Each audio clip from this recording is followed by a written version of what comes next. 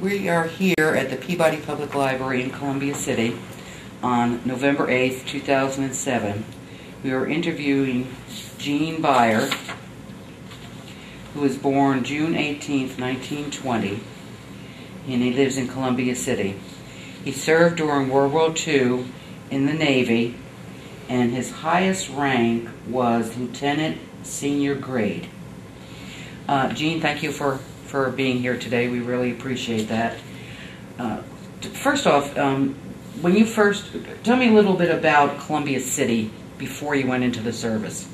Were you guys even thinking about a war?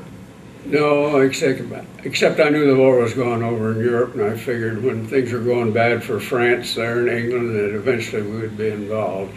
Were, were but you, I didn't think much about it. I was a student at Purdue University. Okay. Very good. And were you married at that time? No, No, you weren't married. Why did you join the service? Were you drafted or volunteered, or how did that come about? well, I was drafted. I was uh, enlisted in the draft. I got my draft card here. And then I guess they had a drawing at Washington and got your numbers in order to which you'd be drafted.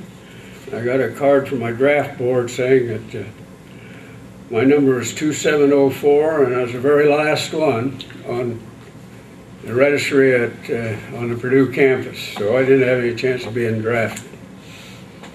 So you volunteered then? So then, uh, after I heard about uh, the war, of course, I got the news on a Sunday, and I was home, and my roommate and I turned on the radio and heard the news. Uh, I just mulled it over, uh, what to do, and I went home at Christmas vacation, and uh, I told my folks I'd like to enlist as a naval pilot. And my mother didn't want me to do that. She says that's too dangerous. So just as I left, my dad took me aside and says, if you want to be a naval, try to be a naval pilot, go ahead. So my mother decided that uh, when I went to Purdue, you had to take ROTC, two years. And then you could take another two years and become an officer in the Army. I didn't want to be in the Army, so I quit after two years. And my mother, when she's about four years old, decided that what branch of service I should be in. Here's a picture of me with my sister in my naval uniform. Uh, I went down to Indianapolis and uh, I got through most of my physical, except I had trouble with the eyes. And the, the recruiter told me, says, the doctor will be here a week from today, you come back again, and I want to go, we'll go over your eye test again and see what he says. Well, I went back a week later, and uh, I couldn't pass the depth perception test, and he says, uh, you have no business trying to land an airplane on an aircraft carrier with your eyes. So he wouldn't, uh, so I couldn't become a naval pilot. So then the Navy had a program called V-7 they would let you graduate from college. Then you took a 90-day course, and they commissioned you an ensign. They're called 90-day wonders because after you took the course, they wondered what they had. So uh, I enlisted January 17th for four years in the Naval Reserve. And uh, right after I graduated, I got a letter from the Navy saying that I'd been tentatively assigned to report uh, January 4th, 43 at Notre Dame campus. On uh, December, I got a letter saying my orders had been changed. I was to report to uh, downtown Northwestern University in Chicago. Along with that letter was a railroad ticket to get on at Albion, Indiana and take the train and there's where I reported December 31st, New Year's Eve. The wind was blowing off the Lake Michigan. Was about five below zero. Well, then, uh, here's a picture of me in my apprentice seaman. So I'm in my real naval uniform now. And this is a room that I stayed in. There were 1,800 Navy men there downtown Northwestern at this time. After I was there about a week, there was a special notice that uh, the Naval Supply Corps was looking for officers, potential officers, to uh, take a special course at Harvard University. It uh, lasted a year. They, they had taken a two-year Master of Business Administration course, reduced it to eight months. They'd taken a naval, a year Naval Supply and Finance course and reduced it to uh, four months. And I thought, gee, this would be wonderful to try to get an education at the Navy's expense. So I made an application. After going through two screening boards on uh, January 22nd, I was promoted to midship and was put on the train to Boston.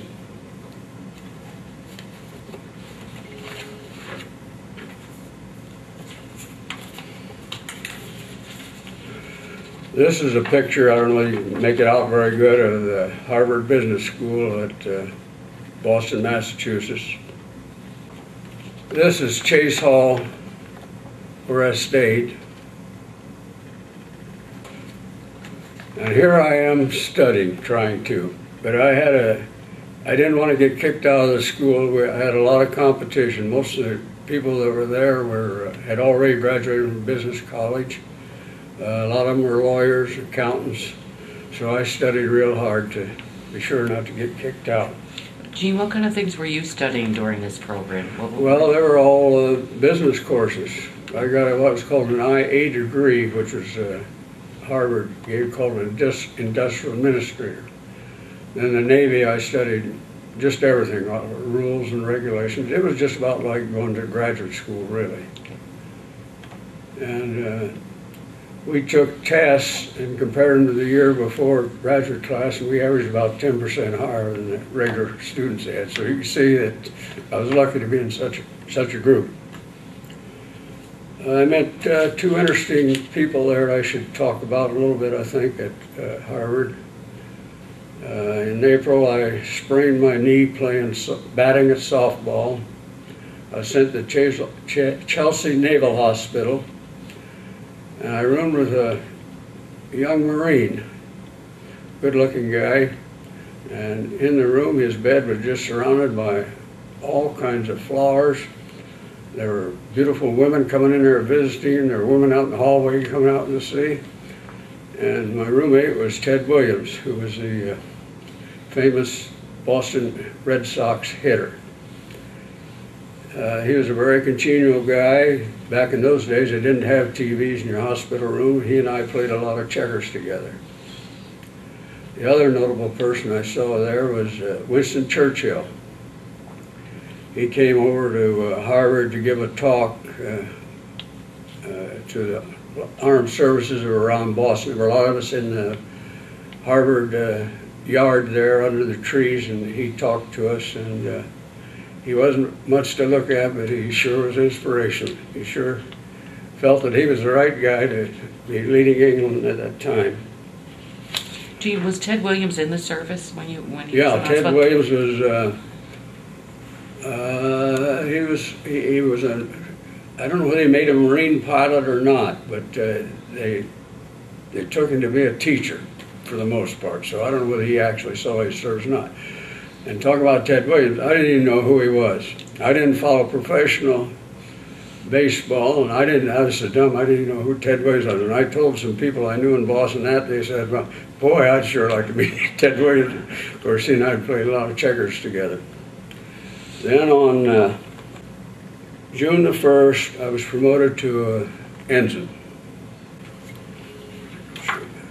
You had graduated by then? No, No. no, Okay. no, this is a year course. A year course, okay. So um, I really had it made in Boston.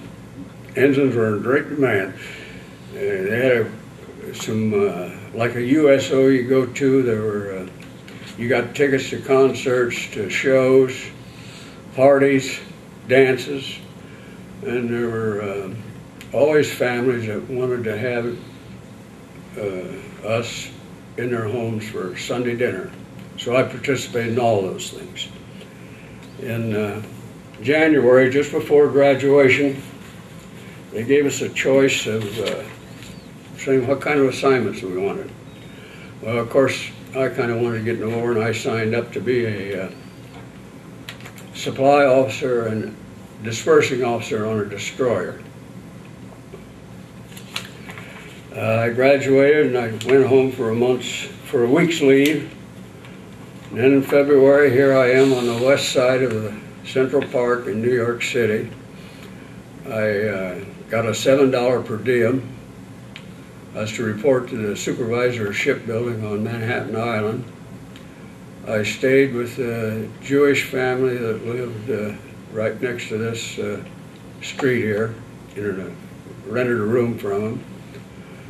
Uh, they were wonderful people. Every Sunday they insisted I eat breakfast with them with their family, and you never eat like the Jewish people. I like they ate anyhow. Uh, I was assigned to the USS Blue, a destroyer. that was built on was being built on Staten Island. It was just about built. I went there on the Staten Island ferry and helped uh, get things together to uh, get the ship ready to go. Uh, they launched the ship. Uh, we, uh, I rode in it over to Brooklyn Navy Yard. We have our armor put on our guns. And on March the 20th, this is a picture of us uh, officers on the day we were commissioned. I'm about the second guy in here. When we were there, my folks came on a train. They were farmers near Wolf Lake to visit our ship. The assistant uh, engineering officer took my dad all over the ship, crawled all over it, and looked at all the guns and mechanisms, and he said he'd never seen such a conglomeration of machinery in all his life. My mother was amazed how good us officers had it. I didn't have to make my bed. I ate off of a tablecloth, had a cloth napkin during the whole war when I was on the ship, except uh, during when we were in battles or uh, in typhoons.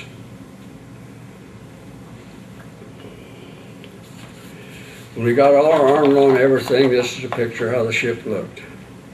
We went on our shakedown cruise to uh, Bermuda, to Bermuda.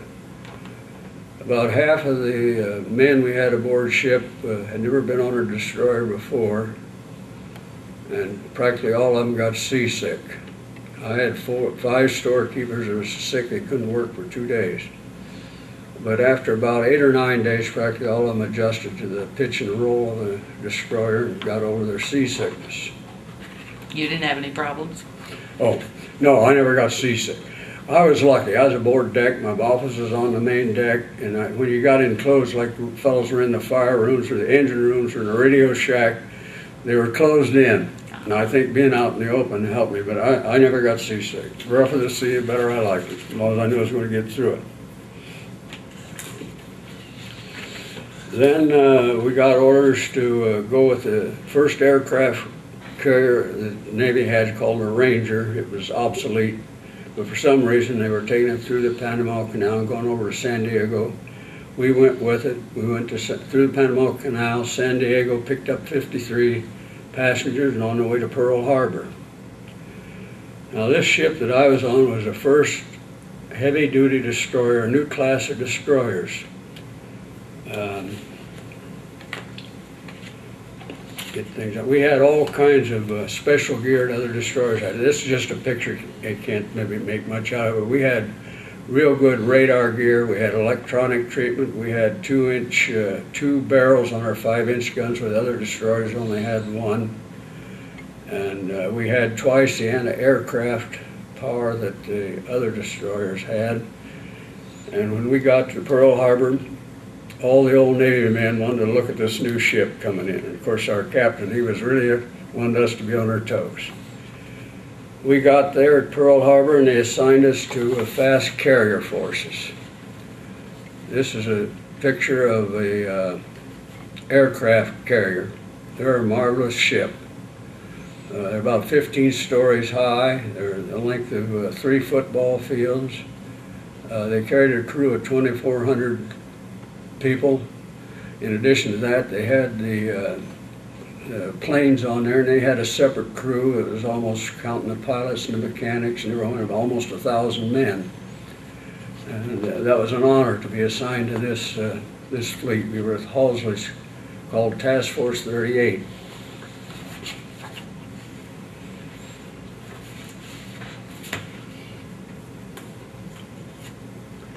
Kind of lost some of my things here.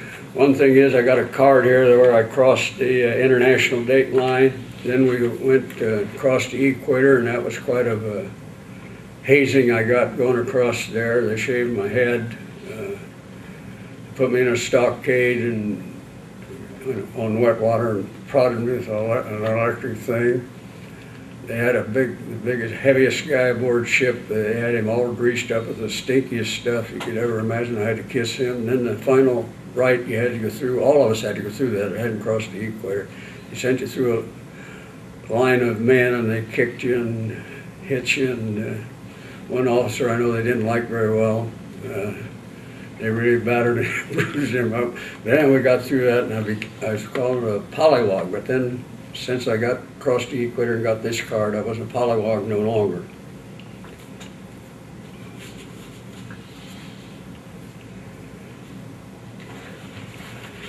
Uh, first uh, thing we got involved in really was the uh, Islands. They were south of uh, the equator there, and uh, we did some shore bombardment uh, there. That's about all we did there.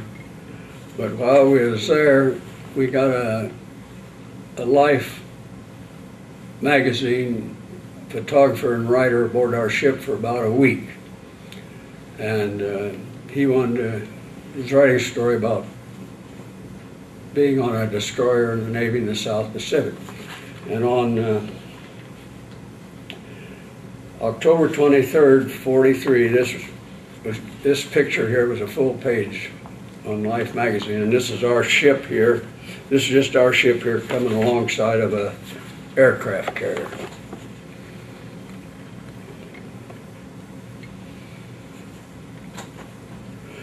I've got some scenes here of uh,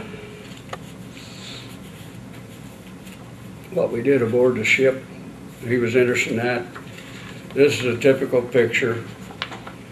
Swabbing the deck. Seems like they're always swabbing the deck. As an officer, did you have to do that also? Oh, no, an officer didn't do anything. Okay.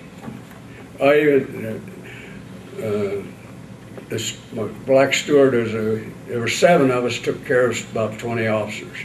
They even, they didn't have enough to do, they even wanted to shine my shoes. And I told the fellow, I said, uh, I've shined my shoes all my life. You don't need any. He says, oh, he says, I don't have enough to do, so I set my shoes out and every morning my shoes are shiny. This is the way we sent signals uh, uh, at sea. Most of it was done this way. That way there was no radio uh, messages that could be inter, inter, in, interrupted by the, by the enemy. Seems like at sea all the time we were doing several things. We were always getting provisions. That's taking provisions aboard ship. We didn't have very big storerooms. Another thing was we used up a lot of ammunition, and this is uh, taking uh, ammunition, sh- uh, small shells here that uh, we got from the ammunition ship. And the other thing is we had real powerful motors on our ship, and it seems like to me we were always refueling. This is just a picture of a destroyer refueling from a uh, tanker, I believe. This is just a picture here of uh, what the chief's mess looked like. The chiefs had a separate mess hall aboard our ship. They were like sergeants in the army. They were really important people. During this time, we did a lot of uh, gunnery practice. Our captain wanted us to be accurate. Uh, here's firing a torpedo.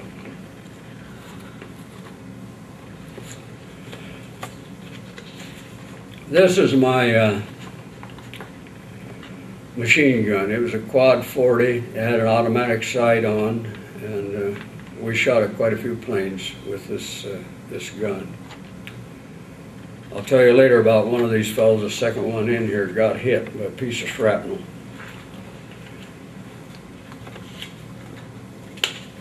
The first battle we were in was, uh, any consequence was, uh, Battle of Leyte Gulf. This was the uh, largest naval engagement in world history. There were, the Japanese uh, sent three fleets. MacArthur had landed on Leyte, on Leyte at this time. This is about 10 days, I think, after the men landed there. And the Japanese Navy, had three fleets coming down. They were going to kick the United States Navy out of the Philippines. And uh, in this battle, I think it lasted roughly, I'm saying about 10 days. There were 300 ships involved, 180,000 men. Uh, 35 destroyers were uh, hit and uh, 12 were sunk. And they estimated that uh, 13,000 men died in this naval battle, and most of them were uh, Japanese. After uh, about 10 days, the Japanese fleet was uh, scuttled, and the Japanese fleet was really no longer a factor in the, the war. And what year was that, Gene? What- When was that? That was in, uh, on October the 3rd, 44. 44. That's when we started. Then uh, after, about a week or two later, I went ashore at the Philippines. This just shows a couple pictures here. Uh, This is a village and uh, uh, homes are are just huts there with dirt floors. A few of them were really, uh, uh, were were electrified and all they had was a light bulb hanging down from the middle of the ceiling. This is a picture of me right uh, here watching a Filipino uh, grinding up rice to make into rice cakes. This is uh, me here a day in the uh, at sea. I was one of the busiest men aboard ship. At sea, I always had things to do. It seemed like the captain, if I didn't, he assigned me other things to do to keep me busy. And then I was in port, all the other, all the others were taking liberty. I was always uh, getting supplies and uh, was very busy in port. Got a few pictures here just about Liberty. That was an important thing. Our ship had a steel deck and we wore out shoes. The guys were always wearing out their shoes and Liberty was a big deal. We only got about three or four a year or so I was in the Pacific. This here's a ship, uh, a boat coming along, take our men. They always wanted to put in a few more men than the ship was, or the boat was carry. This is a kind of a island like we got in. There was nothing there but uh, beach, and you got to walk on the sand. Uh, we had beer aboard the ship, but you couldn't drink it aboard ship. Each man, generally, we took two uh, bottles of beer, cans of beer for each man. This is a picture of one of the best ones I got to go to, and we just had a good time. They brought food, and we played. Uh, uh, shooting dice and cards, and uh, then we had a baseball game here between the Chiefs and uh, enlisted men and uh, officers. How, how long would a Liberty last? Well, journey was just it was just a one day deal. A one-day It's deal. One day deal. Okay. There, we, And it would, you would just take, they would just take you to an island that yeah, happened to be yeah, available? just just be off the ship and Okay. go swimming. Of course, when we were uh, anchored, a lot of times the fellows went swimming off the ship anyhow. But some of the places we were anchored, there were shark around. You didn't want to go swimming. But they enjoyed that. Well,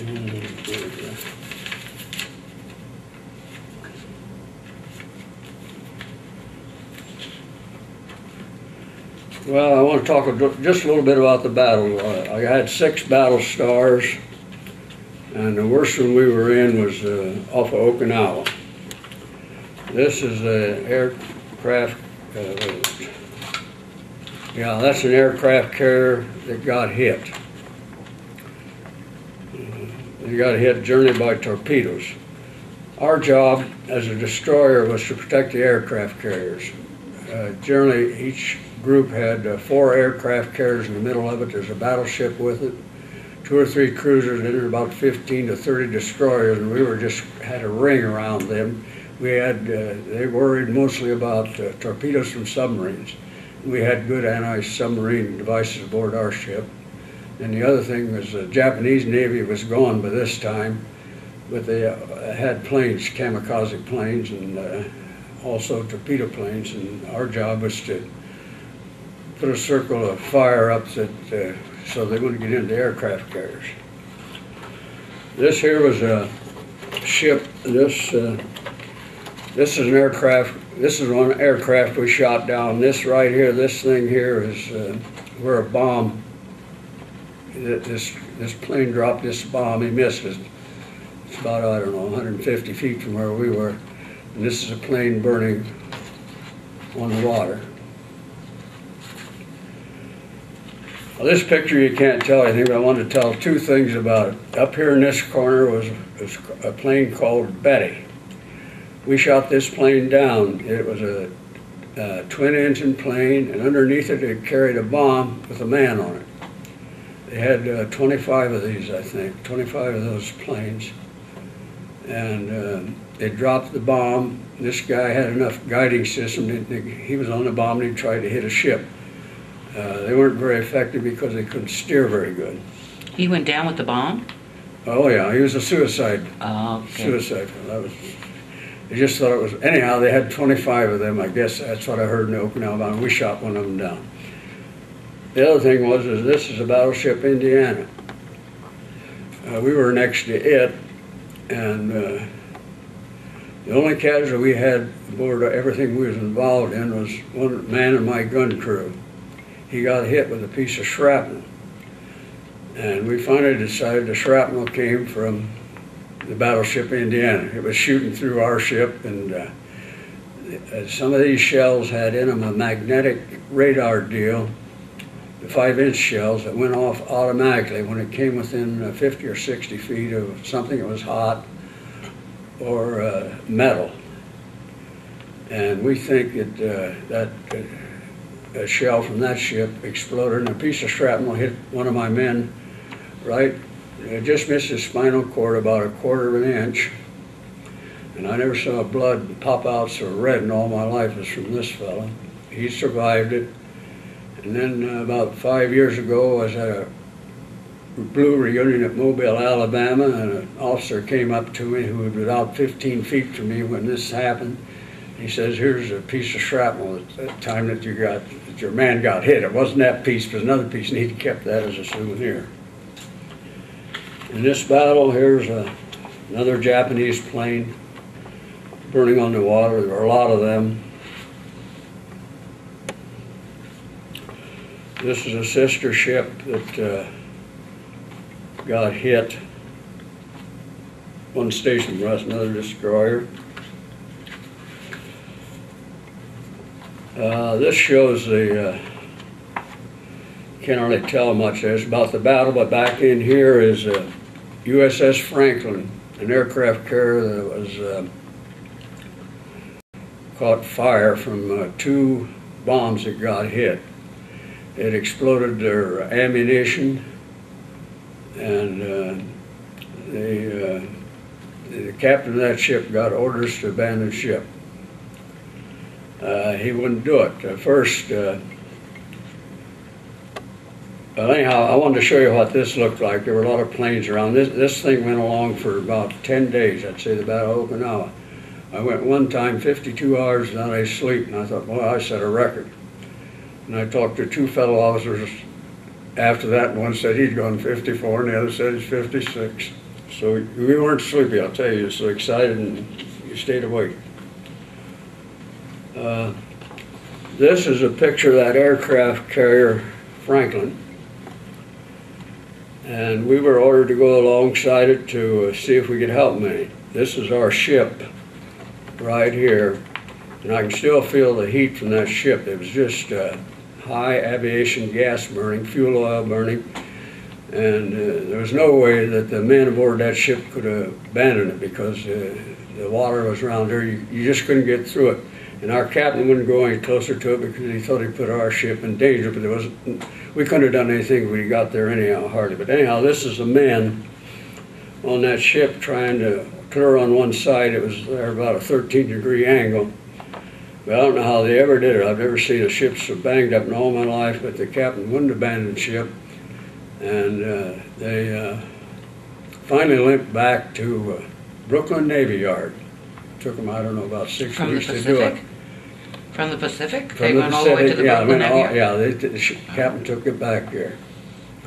There were seven hundred and twenty-four men killed off, off of that ship. Here's a Japanese pilot picked up. Uh, He didn't want to die for the emperor, he wanted to live. What happened to the, when you picked them up? What, I mean, Well, I've got some pictures here if I can show you. I don't know whether I got them or not. We picked up 18 pilots out of the water. I may run on to them later here. I've got my pictures kind of messed up here. We picked up 18 pilots out of the water and took them back to either a uh, their own aircraft carrier or to a, uh fueling ship, but we transferred them back to somewhere all of them were, uh, they'd been shot down or they ran out of gas or they had uh, mechanical trouble. Uh, we picked up one fellow that we thought was dead. The doctor gave him a shot of adrenaline and drained about a pint of blood out, uh, a, a pint of water out of his lungs. I told uh, my chief commissary steward, I said, uh, the doctor thinks he's not going to live. I said, be sure we got space to put him in our refrigerated storeroom till we transfer him back. But he made it two days later. Uh, we transferred him back to an aircraft carrier. Well, he was a thankful fellow. He wanted to give uh, the doc his uh, 45 automatic he carried. But uh, th- those men were really grateful, but they were sure glad to get off the destroyer. Uh, all the pilots became seasick on our ship uh, we picked up one time, we were always doing messages, doing something special, picking up an admiral or we picked up uh, 23 pilots to trans, they were relieving 23 pilots on another, on an aircraft carrier. And boy, were they glad to get off our ship. They were seasick. Uh, this is a picture of uh, us at night. We bombarded uh, some uh, uh, in the South China Sea. We went over in China and bombed a couple of other places there. The Japs occupied China, and we just wanted to show that the Japs, I guess, that we could bomb China. There wasn't really any good reason for it, but anyhow, we did it. Now, this time during, after the Battle of Okinawa, I visited quite a few places. I went to Saipan. I was talking to a Marine there, and uh, he gave me a, uh, this is a 50 yen bill. The Marine said he had taken it out of a dead Japanese soldier, and he said I could have it. So that's where that bill came there. Oh, he was talking about uh, rescuing pilots. There's a pilot right there, if you can see it. He was lucky. He got his raft going, and he was in that, and we picked him up. And here we are transferring the pilot to a, probably an aircraft carrier. Uh, my time, I'm spending a lot of time here. Uh, one thing was mines. We, uh, when we were close to Japan, there were quite a few mines out, and they, they were very dangerous. We, uh, this is us exploding one mine. We, we exploded, I think, eight mines, and one of them got almost hit our ship. A sister ship got hit by one of these mines, it exploded our ammunition. Only 50 men out of about 240 lived from that experience. Oh, I want to keep talking about, oh, Tinian.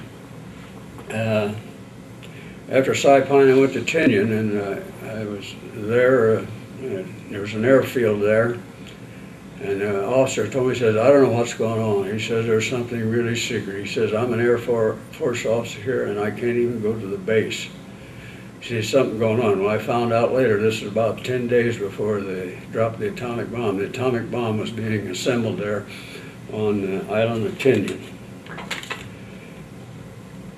Uh, another thing, uh, I had a famous guest aboard ship was John Roosevelt. He was the son of FDR, our president. Uh, he was fleet supply officer, and he came over and had dinner with me one day. I'll just mention a little bit about Tokyo, Tokyo Rose. People have heard about her. She had a radio program we enjoyed. She's always playing uh, songs. Stardust, Begin the Beguine, Deep Purple, telling us how don't we wish we were back home. That reminds, I hate to take time to tell another story. We were along an aircraft carrier and they had the band practicing and uh, the bandmaster called over to our captain. We were getting fuel from the aircraft carrier and uh, he says, you want, got any songs you want to play? He says, well, I'm from Kentucky. How about playing my old Kentucky home? So they played my old Kentucky home. He says, say, I got two officers here from Indiana. How about playing back home again in Indiana? So there we were cruising along with this aircraft carrier playing a song to us, two Hoosiers. Besides the, uh, to get on with things here, I want to talk about typhoons. They were our worst enemy, besides the Japanese kamikaze planes. I was in three typhoons. The first one was 1217 off of uh, the Philippines. And the reason I brought this, the Navy suppressed bad news and good news, they really played it up. But anyhow, this was uh, three destroyers were sunk in this, this typhoon. It never came out to January 59. They kept it secret for five or six years. And out of this here, they saved uh, they lost 790, uh, 790 men.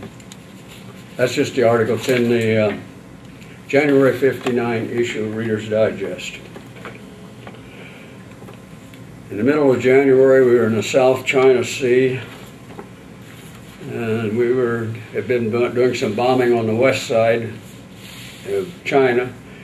Uh, MacArthur was uh, invading uh, Luzon at this time on the other side of the Philippines, and uh, we got orders to uh, stop my time getting up or something. No, you're fine. You, you keep going. All right. No, well, anyhow, we uh, we're on the west side of the China Sea, South China Sea, and they, MacArthur had sent a message to uh, President Roosevelt saying that the naval wasn't forces weren't supporting him enough. And we were over there on the West China Sea, and we got orders to go to the east side there to get to Luzon, and this, we run into a typhoon. This is a this, our, our destroyer wa- wa- wasn't designed for rough seas and typhoons. Uh, this is a picture of uh, us taking water. The old destroyers would seem to plow through these ways, but ours was wider because we had these five-inch guns on. And uh, in times like this here, the uh, ship would go up about uh, clear out of the water, the front part of the ship. You could see a sister ship that'd come clear up, and then it'd drop down about 12 feet, and at that time a big wave would hit you. One of these waves came over and crushed an officer between uh, the wave and a gun. He broke his leg. But anyhow, one time this wave came over so big, uh, hit us, and it uh, made the Were, were bolts. there were there men on the on the? I mean, what was everybody below deck or? No, most most in these seas here, there weren't very many out on the deck. But th this was the first, what was called a first lieutenant. He had to do something to check something. The anchor chain or something was having Ah. trouble. And he had to go up there, and a wave came over and pushed him against it. We, and he broke his leg. Anyhow, right after that, another big wave came over, and it popped out some of the bolts that held the uh, big gun on the deck. It hit it hard enough that it uh, deck sank about four inches, and we didn't even know whether we could operate the gun then.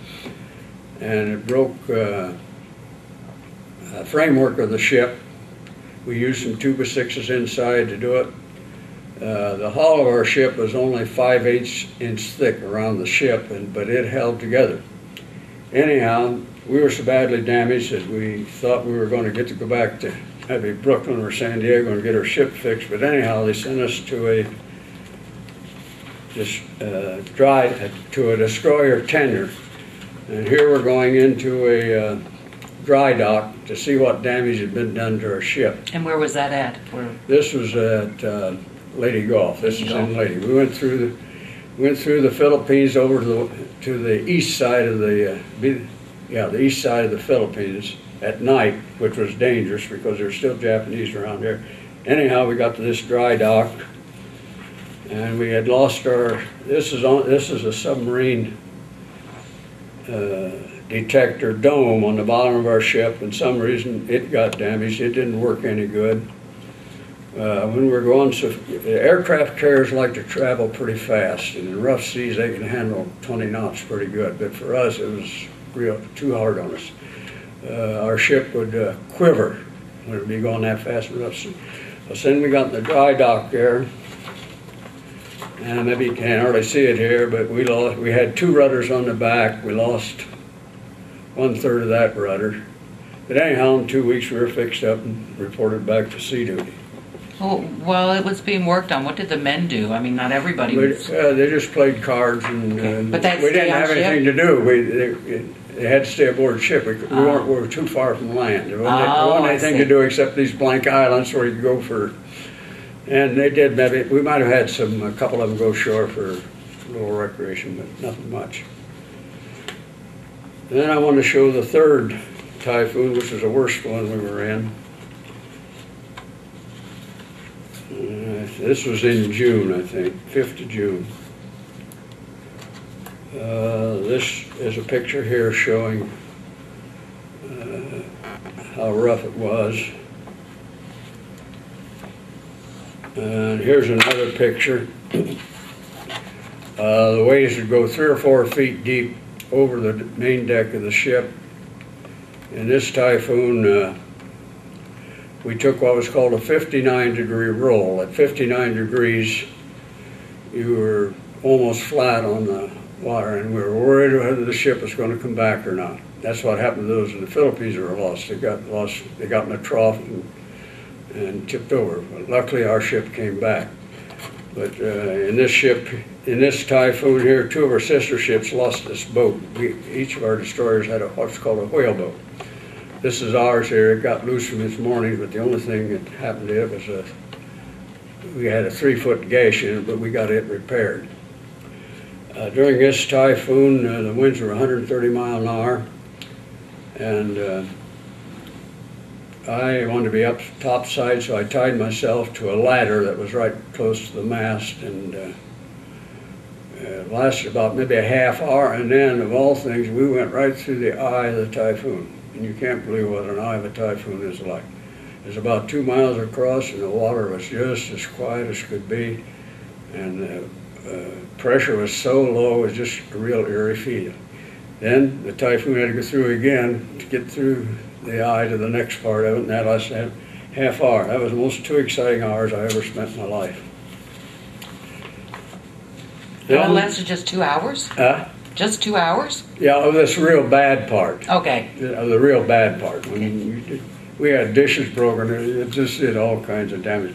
In this typhoon, the Pittsburgh lost 100 feet of its bow, broke off. Two men were killed in that. And I was talking to a man who saw in a movie on the news they gave back in the peacetime. They had a picture of the, the Pittsburgh bow on the news.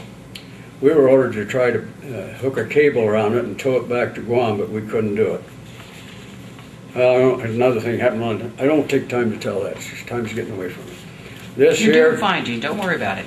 You're doing fine. this is us in Tokyo Bay. After the atomic bomb was dropped, we had a peace treaty, and this is my gun here, and this is my, uh, Mount Fujiyama in the background there. You can just see that. That's a famous mountain there.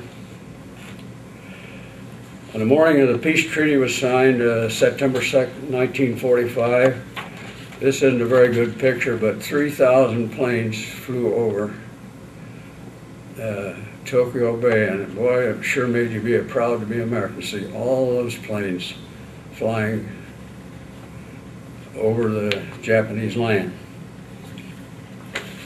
This is a picture of the peace treaty being signed. This is our ship back right here. Uh, I got to watch it all through uh, through my binoculars. I, got, I could see pretty good. Uh, after the peace treaty was signed, a destroyer came along, and picked up the Japanese dignitaries, and took them to Yokohama, I think. And right after that, we had the honor of going right alongside the Missouri. We picked up Lieutenant General Sutherland, who was MacArthur's uh, chief of staff. We took him on our ship to the dock at Yokohama. He hopped off, and there was a sergeant there with a Studebaker car, and the general hopped into that and went to his base there. That was quite an honor. I don't, won't, won't take any time talking about visiting except this one thing. Two officers and I visited. This is a name card I enlarged of an accountant there. He was a Japanese accountant. They invited us in their, home. We sat on the floor in front of a coffee table like and had some tea and uh, cookies and uh, I thought I was eating roasted peanuts, but I found out later they were soybeans. Uh, then after the peace treaty was signed, uh, we got orders to go to Pearl Harbor and then on to San Francisco. We were to go ahead of the main fleet. And this is a picture of us just on our way home from Tokyo to Pearl Harbor. We showed movies at night, had the lights on. And uh, just before we got to Pearl Harbor, everyone wants to get dressed and uh, get our picture taken, be ready for liberty. So that's us approaching Pearl Harbor after the war was over.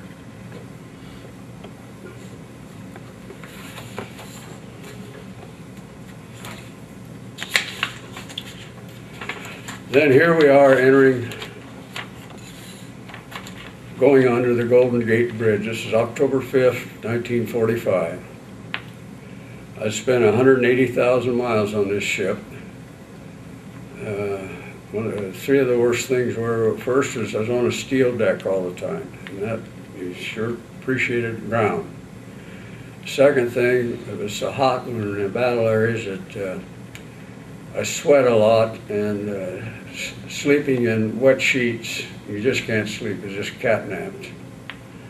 And the other bad thing about being on that, I went for a little over a year and didn't talk to a white woman or a white girl. When he got in San, San uh, Frisco Bay, Francisco Bay, I found out my brother, who enlisted in the Navy in January, was uh, aboard an AKA and they were just getting ready to go to Guam. And he had one more night of liberty. He spent it with me and we ate in a, a fancy restaurant. The other good thing about being in San Francisco was that uh, my relief showed up. So I got a 30-day leave and uh, came home and waited for further orders. You had to have 30 points for a naval officer to get out of the Navy. If you weren't married, you didn't have any chance of getting out of the Navy real quick. Anyhow, when I was home, I got orders to uh, go by train to Portland, Oregon, and here I am in front of uh, Swan Island Naval Barracks, and I was transportation officer. My job was to uh, rent planes and uh, try to get some troop trains and uh, get get men home. That was a, a, thankless job. Everyone wanted to get home, but uh, anyhow, that was my job there. While I was there, the Lincoln Mercury dealer thought it'd be good publicity for them, for the transportation officer to have a new Mercury. So I bought this Mercury. This is the fourth Mercury. It was in the state of Washington and uh, uh, Oregon after the war was built. And believe it or not, when I was in Portland, my brother got back to Bremerton, Washington. He came down and visited me. He wanted, to, he wanted to drive the Mercury. Came down and visited me, and then about two weeks later, I went up and visited him in Bremerton, Washington. Here, he, here we are. And uh, this is on a ferry from Bremerton to Seattle, Washington. Well, I'll just conclude my naval career. I got discharged uh, I gave myself a plane ticket to get back to Chicago since I was transportation officer, and I got discharged uh, May 13th, 46. I celebrated the last getting out of the Navy by having a date with my uh, college roommate's sister. And I got a lot of stories to tell, but I've said too much. Um, that, your wife that you're married to now, did you meet her during the war or was that afterwards? No, uh, my wife, uh, after the war, I did a, I, I went under the GI Bill. And uh, they had a program at Purdue. They were trying to keep their, they- had a good uh, aviation school at Purdue. And they wanted to try to keep that going, and uh, they had a program where you could learn to fly at, Navy, at uh, government expense. Earl Butz, who was my good friend of mine there, uh, said to be a good agricultural economist, you need to know how to fly. He certified uh, uh, that, to be, uh, that I needed to learn to fly. So I got into there. So at the Navy expense or the government's expense, I learned to fly a Cessna plane. I didn't have any trouble with my depth perception of landing on the ground. Anyhow, I had uh, I logged 45 hours in that plane.